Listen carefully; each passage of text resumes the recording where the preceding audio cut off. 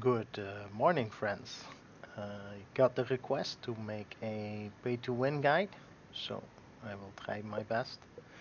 Um, to know before I start, I do everything off script, so I kind of have a few pointers besides me low spender, mid tier spender, and whale. Um, it depends a little bit from player to player. I will talk a lot about how to spend and when to spend, and not only about individual packs what to buy, because it's it's more important um, to spend at the right moments if you're gonna spend, of course.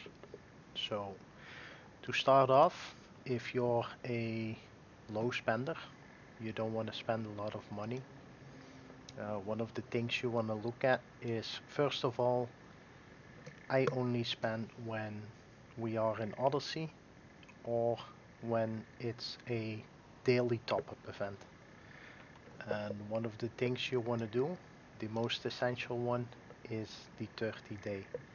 This is already a bit high end, but a lot of the times it's more interesting to only this buy this pack and then buy nothing else uh, because the combination of the amount of gold that you're receiving uh, combined with the extra stats um, yeah it does make a lot of difference. Now in addition to that um, you could buy the 7 days soldier training pack. The biggest advantage is not so much the training speed but the 20% treatment speed. And one of the things that players run out of most is speed ups. So if you can have a 20% treatment speed, that's a huge advantage. In addition to that, you could go for the 7 days iron pack. And the reason you would only buy one is because one of the buffs that you're getting, it doesn't stack. So you kind of only need one of the resource packs and you will get a 5% collection bonus and load for all resources and in addition to that 10% uh, for iron plus a daily amount of uh, iron 1 million uh, iron a day. Now if it's a daily top-up event so that means you get every day whenever you buy a pack you get some extra rewards I always advise to go for the daily gift pack. The reason being that the amount of gold that you receive compared to other packs is just a lot higher. In addition to that, it keeps you active because you get a lot of stamina. So you have certain events like Pirate Event and others, but mainly Pirate Event, where it's essential that you have a lot of stored up stamina. You get a lot of uh, legendary scrolls and this alone kinda already makes it worth it in addition to all the resources and speed ups that you get. So this is kinda all it for like low tier spending. You don't need to buy any additional pack. It's just buy it at the right moment. For example outside of Odyssey I never buy packs. And whenever we we um, get into Odyssey you get like additional bonuses for uh, reaching like a certain tier. So what I always tend to do is for example the Odyssey event will now take for 26 more days. Let's say you have two weeks in between um, the certain events. So what I tend to do at the beginning of Odyssey I um, extend all my timers from the different packs that I have so that it reaches the beginning of next Odyssey. That way I can claim these rewards fairly fast and I intend to buy these anyway so that way you know you combine that. Now if you're gonna look at mid-tier spending one of the things you could do is because resources is the thing that often gets you you could go for the extra 7 days.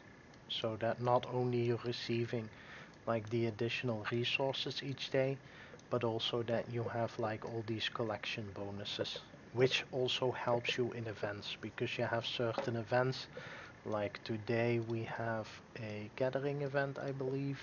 Let me double check that. Prioritize logistics.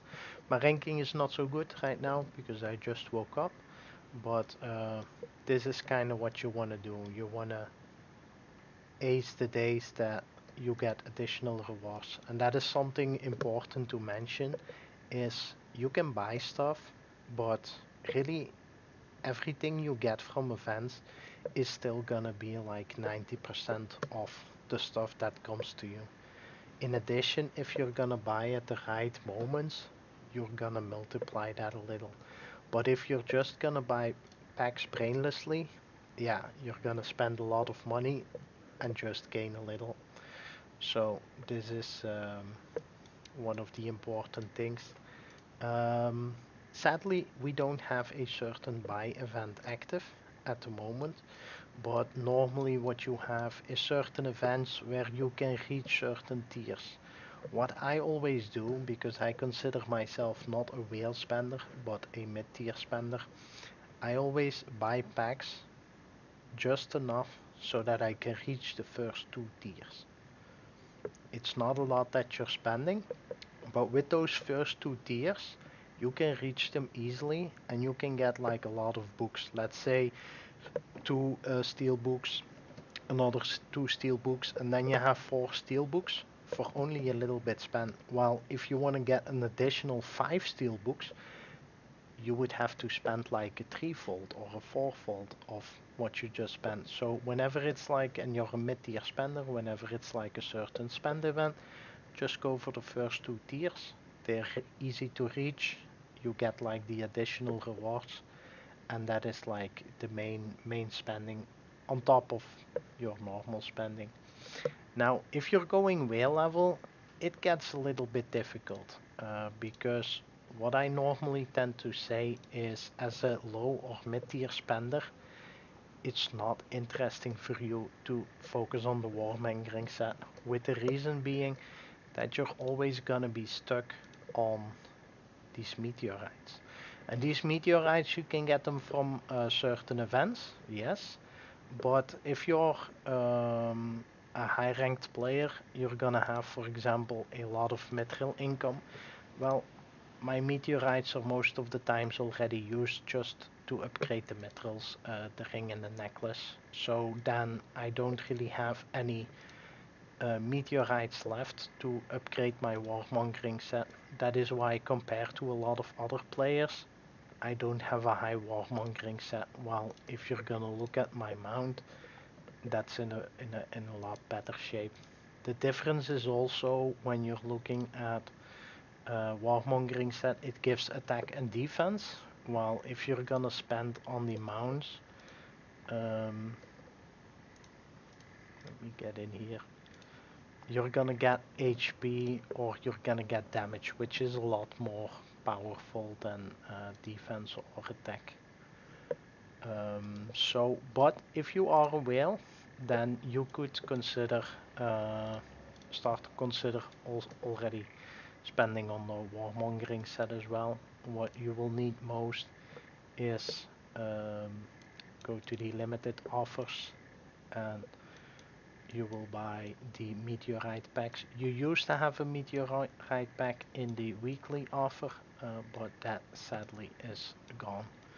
So that is no more. These are pretty interesting uh, packs as well.